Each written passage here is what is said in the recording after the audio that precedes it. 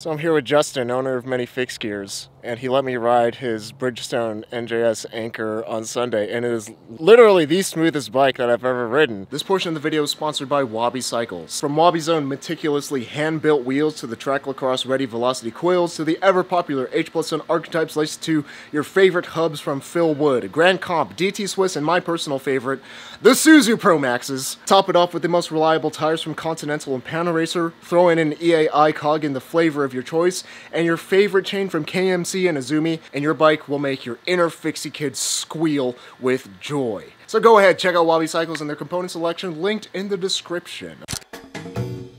So why don't you tell us about it? How did this bike come to be, Justin? All right, so I was actually told by a friend named Ronnie that this frame was too small for him. And he said it's up for grabs if I'm interested. And I was like, you know what? I would like to have an NJS bike. So uh, my friends Justin and Daniel also have a Samson Illusion and a Makino. And I was like, you know what? I'll, I'll join in. This is how I got the Anchor. And um, when I went to go ride it, same thing. It was smooth as butter. You know, I fell in love with it too. I thought it was super cool. He was super, um, like, he really wanted me to emphasize the fork. And I'm like, I don't know what the hell I'm looking at. He's like, it's a Columbus Max fork. Uh, apparently, it's, it's it's it's a steel fork that's bladed, and I'm like, all right, that's that looks pretty cool, and it's a little unique because it's it's you know there's like these blue um, uh, you know I guess you can call Crowns. them crowns. Yeah. And, and I was like, yo, all right, let's let's do it, and you can actually get these from NJS Export, but it looks like only certain um, frames comes with them. I guess I, I don't know why it's not as popular when people are really liking the uh, bladed forks, but even then I couldn't find anything similar to this. And blue and the black, it just goes so well. So I picked it up, and then I um, pretty much got the uh, Dura-Ace uh, 7600 crankset on. Um, I had the opportunity to get the 7710, but I wanted a square taper. So that's why, that's how I got the uh, cranksets here. Of course, uh, my friend Justin also uh, recommended me getting the Sugino Zen uh, ring. Um, he actually was one who found the guy selling it picked it up. Mind you, they're freaking so expensive right now. Like, what the heck? Super toughness chain and uh, just a standard 17 tooth EAI cog with a Dura-Ace lock ring. Um, my friend Daniel actually gave me these. I think they're. I think he said they were Dura-Ace, uh, like these bolts right here. These could be wrong. Even your your nuts are yeah. baller I'm like, sure, I'll take them. This bike is pretty much the same thing with my other bikes. They're just built through friends. These wheels, I also got it from uh, from Justin. Put some Belgiums on here, be a little different.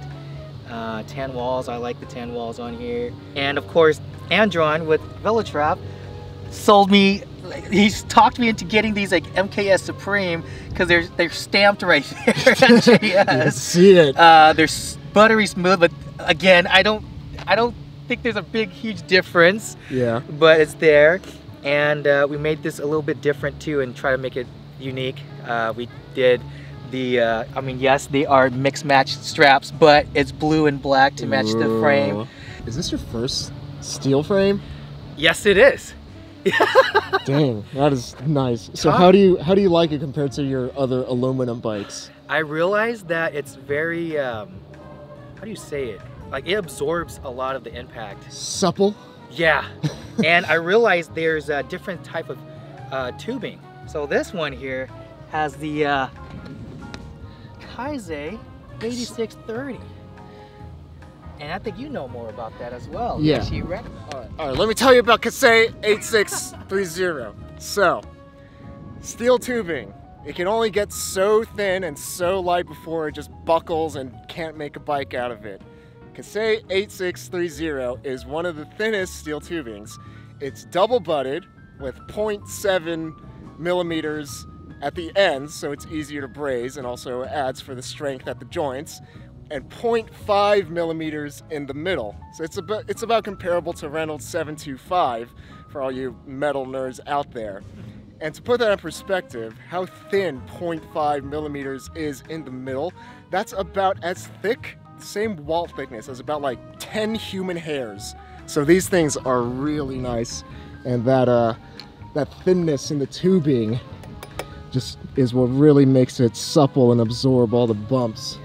Oh, oh, what we got here? Oh, oh, oh, this piece of rubber right here. That's oh, oh actually, let me take back. It's a piece of thin metal that's encased with rubber, and uh, it's I believe it's um like discontinued, and now it's going for like a buttload of money for whatever reason. But this is I got this from Ronnie as well as a uh, one of my birthday gifts. Thank you, Ronnie. I'm hoping to give you a deal on that. Oh yeah, he did. It used to be 40 bucks. How much are they now? I think they're going like what? I think a brand new one's like four or five hundred bucks, and there's assholes selling it for like eight. Why don't you be that guy and Oh, sell your God. piece of metal and rubber for $800? then this frame will be screwed. uh, but speaking of uh, on the top tube here, I didn't know there's a thing. It's a Dura-Ace uh, C post. Um, I got it from my friend Daniel as well, and this one's actually NJS um, stamped. And apparently Easton is another There's a reputable stamp on brand. my. Oh, Oh, right, right underneath. Yeah. There you go. Easton. I was told that's another that's another like reputable brand. I don't know much about it. Um, I think but- they're American, if I'm not mistaken. which is kind of strange. I was a Dura Ace and Easton. Yeah.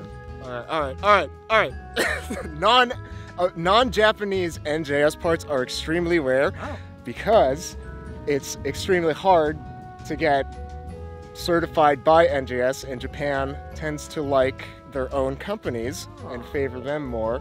And for instance, uh, I think Campagnolo had some, were they cranks or something, that were NJS stamped, and then they only made it for like a year or two because it was just like too expensive to Oh. produce them to all the super hard standards to meet the NJS requirement. Whether it was like actually difficult for them to do or just like not worth it business wise because Yeah. all the racers most of them like the uh, Japanese stuff anyway because most of them are Japanese and Yeah. Japanese people tend to like Japanese things. And also, it is uh, they have a very high standard. You're right, because like uh, I was told, like everything is very to spec. Yeah, It has to be very specific. It has to be stamped. Uh, but these hubs, they're these aren't NJS stamped. But when they are, they're like 36 hole or so. yeah. But going to the front here, uh, I have a Pearl S. Where's a uh, stamp? That's what people oh, want to see. oh, oh, on the other side. Oh, on the other side. non-drive side NJS stamp. What is this garbage? I uh, I wanted riser bars on these. I've seen the NJS uh, drop bars. I, I can't do it. Yeah. They're very um, aggressive, and there's only like one certain position where you can be comfortable at. I'm like, you know what? I'll just do It's these. not for comfort. It's for fixie points and speed. And the NJS stamp. I just wanted something polished to match the Yeah. whole bike. So what bars are these? Uh, they're Nittos, but I forget which. B809 or something? I think so. At the very end too, Nitto bar end plugs with uh, champ grips. Uh, they were actually encased, so we uh, actually I had Antron cut them and slap these on. Makes no sense, but it looks Hey, sick. it's for the fixie I mean, that's what fixies are. They don't make sense, but they look sick. Yep. Is an NJS Spur Cycle Bell? Sure. Yeah. Tell the people what you just told me. Tell the people what you just told me. so technically, the stem I'm supposed to be a 90 millimeter. But because it says the number here, I hate odd numbers. So instead of Pearl 9 or Pearl 11, I was like, screw it. I want a Pearl 10. It's the weirdest reason. Hey, but look at it. It looks cool. I'm sure Pearl 9 would look fine. it's like, this- why do you hate odd numbers? I don't know. It didn't look right. okay, how does the 10 fit you though? I think it's fine. It Yeah, works. all right. I think 11 would be a little too much, but 10 But 10's fine. solid. Yeah, even even better that it's a 10 and not a 9. totally just a random saddle here that just you know everything broke don't fix it i really love the specialized uh, i think it was the uh, expert or specialized One of them, they make a ton. one of there's so Yeah. freaking many but this specific one is i really like this one so Specialized saddles are actually severely underrated for how comfortable they are. Yeah i really like them a lot I like them too. So you thought about selling this bike, and you came around. yes So what's the story there? So I had a couple offers. They're pretty nice offers, but I didn't really want to just sell it to somebody that I didn't really know, especially since it was built with parts from friends and, and retain that, you know, sentimental value. Then um, then over the weekend we rode it a few times. I'm like, damn it, this is a nice bike. I, I'm just gonna probably just hold on to it. There's no rush. There's no reason. So this will be the fourth bike I'm gonna just hold on to. So it's and my only steel bike. So I rode this bike for the first time. This is the second NJS bike I've ridden. Just a short, like five mile thing. And then, even with 25C tires on it, it is still the smoothest bike that I've ever ridden. And part of that has to do with just the loose ball bearing NJS components. It's just super smooth when it's tuned by a very good mechanic, as these were. The bottom bracket, of the hubs, super silky smooth. And then the chainring. Okay, everyone likes all these hipstery chainrings, like what I got on my Wabi, and they're great. They're phenomenal. They look really fantastic.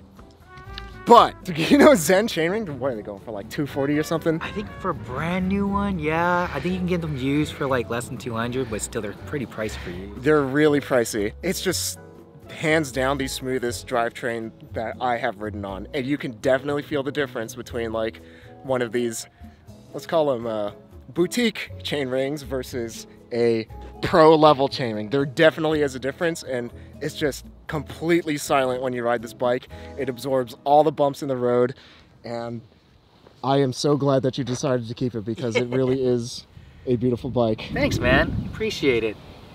So, should people build up an NJS bike? Steel is real. Steel is Yes. real. You, you got three aluminum bikes and one steel bike, and you're saying steel's real? Steel is real, man. it's so comfortable. It absorbs everything. And I don't know, something about NJS has that wow factor to me about it. It's different. And uh, wh- wherever you go, you're, you'll get, you're going to get some eyes staring at you like, look at this thing. So, yeah, you know, it'll be cool to get one. NJS export. I rate this Fixie, this full NJS, I give it more, even if it would be less practical. and that is why the five gold exists. This is a 90 Fixie point bike right here. I forgot to mention, I have the Dura-Ace uh, uh, Oh, the uh, cover, dust but, covers. but on the other side, is, it looks better. It's actually correctly put on. Okay. I try my best to put it. to line it up. Yeah, I couldn't. And I forgot to mention, I have a Hatta um, uh, bottom bracket as well. Hot bottom bracket, Yes, their sir. Ace headset that may or may not need to be adjusted. I should do an outro. What do you usually do? Shout out my Patreon Oh, supporters. that's right. Yeah. Anyone you want to shout out, Justin? Me. Yeah. Ooh, shout out to Velotrap Happy takeout. and Happy Takeout, Diana and uh, Andron and uh, Madison, EG Boys, Alex, Your neighbor's dog. my neighbor's dog, EG Boys, Alex, and um, Justin. I'm still gonna consider Terry as an EG boy, and uh, Daniel, Justin. Damn, You said I- you, I there's like the six damn names. Justins. Justin, Daniel, Alex, Terry. There you go. There you go. And, uh, and honor Oh, and I, gu- I guess. What do you mean honorary? I'm from here.